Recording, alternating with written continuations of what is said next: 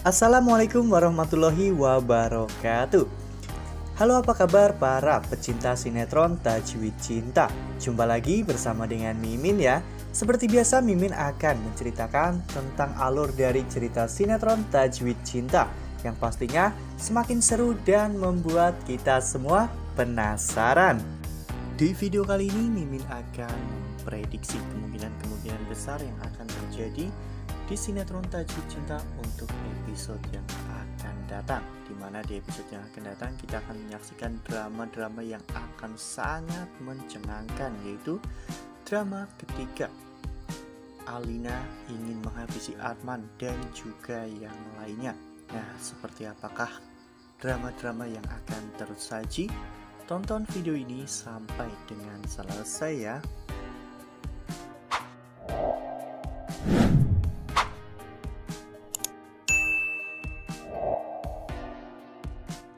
Di episode sebelumnya para penonton pun sudah dibikin ketakutan ya kawan-kawan karena tiba-tiba Alina menghasut orang tua dari model yang meninggal dunia saat acara fashion show.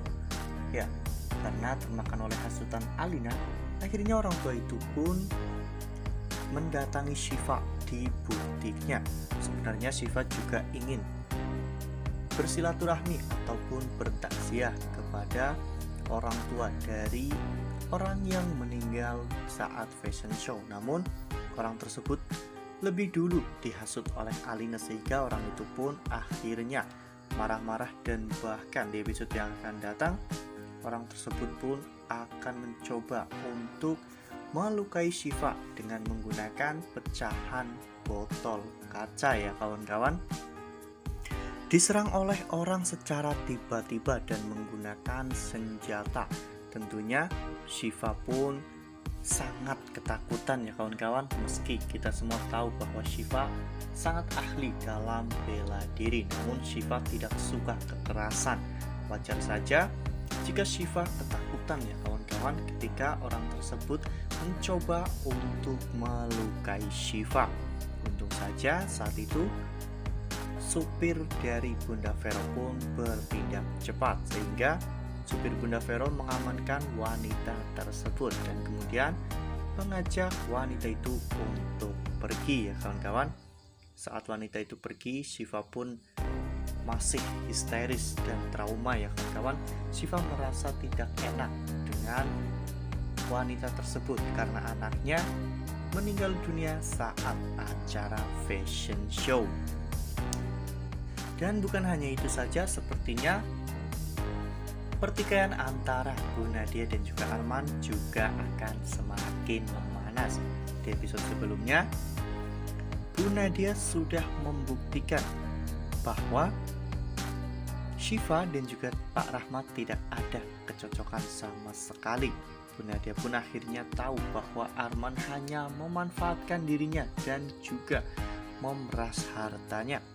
Oleh karena hal itu, Bu Nadia pun sangat marah kepada Arman dan bahkan menyuruh Arman untuk jangan menghubunginya lagi. Jika Arman berani menghubungi Bu Nadia, maka Bu Nadia akan melaporkan Arman ke polisi. Tentunya hal ini membuat Arman pun semakin marah ya kawan-kawan. Arman tidak bisa diancam karena Arman pasti akan berbuat nekat. Nah, sebelum lanjut di video kali ini, Mimin sarankan agar teman-teman semua menekan tombol subscribe dan nyalakan lonceng notifikasinya agar teman-teman tidak ketinggalan updatean terbaru dari Mimin. Karena setiap hari Mimin akan memposting ataupun mengupdate berita-berita terbaru mengenai alur cerita sinetron Tajwid Cinta. Mimin juga menyarankan agar teman-teman menonton video ini sampai dengan selesai agar tidak terjadi kesalahpahaman di antara Jika kita. Jika dia tidak bisa dimanfaatkan lagi, Arman pasti akan lari ke Alina ya kawan-kawan karena menurut Arman Alina bisa lebih jahat daripada Bu Nadia. Bisa saja nantinya Arman berusaha untuk mengadu domba Bu Nadia dengan Alina ya kawan-kawan namun di sisi lain Alina juga sudah memiliki rencana lain yaitu Alina ingin menghabisi Arman karena Alina menganggap bahwa Arman tidak becus dalam menjalankan tugasnya. Hal itu terbukti karena Shiva pada akhirnya bisa keluar dari penjara.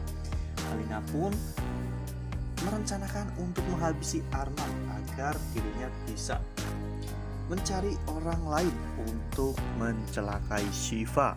Namun tentunya Davri tidak akan tinggal diam ya kawan-kawan. Kini Shiva telah memiliki banyak pelindung yaitu ada Davri, Oki, Om Eros, Parahmat, Bunda Vero dan pastinya Ilham. Meski Ilham ingin menikah dengan Alina, namun tujuan Ilham menikah dengan Alina itu karena dirinya ingin memastikan bahwa Alina tidak menjahati Shiva. Ini adalah misi terselubung dalam pernikahan Ilham dan juga Alina ya kawan-kawan. Namun sepertinya Ilham masih belum bisa mengendalikan Alina karena Alina menginginkan Ilham itu nurut seperti Pak Rahmat yang selalu mengikuti semua keinginan Bu Nadia. Jika Mimin amati sebenarnya di sini yang paling jahat itu adalah Alina ya kawan-kawan. Namun kejahatan Alina itu tidak terlalu terlihat seperti Bu Nadia.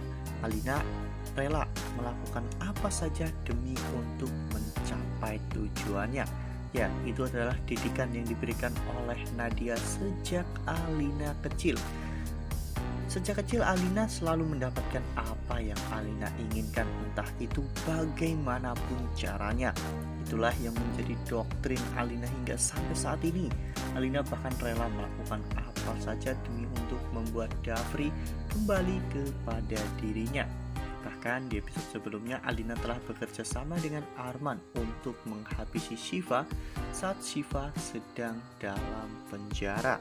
Ya, tentunya episode-episode yang akan datang Alina pun akan terus-menerus menjalankan aksi dan juga rencananya untuk menyakiti Shiva atau bahkan melenyapkan Shiva. Wah, wah, wah, semoga saja Davri selalu ada untuk Shiva ya kawan-kawan. Semoga apa pun rencana jahat Alina kepada Shiva itu semua tidak akan pernah terjadi.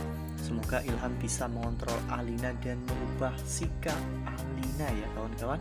Semoga saja siapa pun yang berniat untuk menjahati Shiva dan juga keluarganya akan langsung mendapatkan karma yang instan Nah, makin seru kan ya, makin greget dan makin membuat kita semua penasaran.